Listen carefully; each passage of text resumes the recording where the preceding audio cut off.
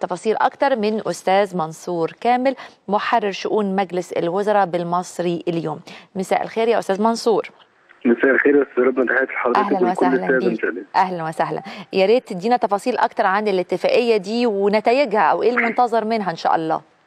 هو زي ما حضرتك أشرت كده هي اتفاقية عقدت ما بين الحكومة المصرية ممثلة في وزارة البترول وممثلة أيضا في الشركة القابضة للبتروكيماويات وأربعة من كبريات الشركات ال- الكويتية العاملة في مجال البترول ومجال صناعة البتروكيماويات. أربع شركات أربع شركات آه. على رأسهم طبعا أكبر شركة عاملة في هذا المجال هي الشركة القابضة الكويتيه بالإضافة طبعا للشركة العالمية للبتروكيماويات وشركة آه. بوابة الكويت آه. وشركة بوبيان للبتروكيماويات الكويتية هم أربع شركات كويتية. بيمثلوا القطاع الخاص مم. الكويتي مم. وهذه الحكو... الاتفاقية توقع مع القطاع الحكومي في مصر ممثلة في القابضة للبتروكيماويات. للإنشاء طبعا أربع مشروعات في مجال البتروكيماويات المختلف ما بين آه، معامل تكرير البترول ما بين إنتاج البروبلين ومشتقاته ما بين مجمع للتكرير آه، ومشروع آخر لإنتاج الفورمالدهيد ومشتقاته آه، ومجمع الاسمده الفسفاتية. طبعا هذا المشروع عشان بس يكون في الصورة هذا المشروع بيحتاج إلى وقت كبير للتنفيذ. يعني علشان هذه المشروعات ترى النور مش. أقل من خمس سنين أو ست سنين. ولكن هيبدأ الجانب الكويتي في البداية بالدراسات الخاصة بالمشروع على أن يتم التنفيذ. كل هذه المشروعات طبعا استثمارات ضخمة جدا بتصل هي لحوالي دي اتفاقية الأولى من نوعها يعني الم- المشروع ده يعني مش تكملة لما سبق يعني مفيش حاجة حصلت زي كده.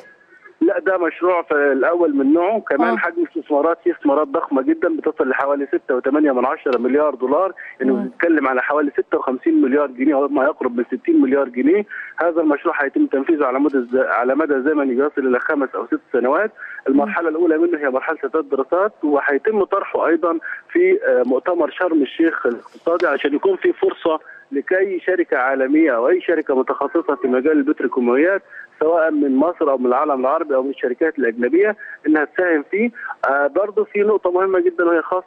بالعمالة الضخمة اللي هيتم توفيرها لهذه المشروعات وهتصل لحوالي 28 ألف فرصة عمل كان رئيس الشركة القابضة الكويتية قال في مؤتمر صحفي عقب التوقيع على المذكرات التفاهم اللي شهدها رئيس الوزراء إنه هيتم اختيار أماكن بالقرب من مشروع قناة السويس الجديدة طبعا علشان هذه المشروعات تكون قريبة من قناة السويس. وتكون قريبة من من المواني وتكون بتتيح لها فرصة أكبر للتصدير وقال إنه دي طبعا آه، فرصة لاستكمال ال- الاستثمارات الضخمة اللي بت- اللي بتقوم بها الكويت في مصر وعشان إحنا نعرف إنه آه، في عدد من الدول العربية بيحتلوا قائمة الدول المستثمرة في مصر زي السعودية زي. الكويت زي. الإمارات والسعودية الكويت تحديدا بتحتل المرتبة الخامسة عربيا من حيث الخامسة عالميا من حيث أكبر الدول المستثمرة في مصر أنا بشكرك شكرا جزيلا طبعا على كل التفاصيل اللي قلتها لنا. أستاذ منصور كامل آه، محرر شؤون مجلس الوزراء آه، بالمصري اليوم. شكرا جزيلا.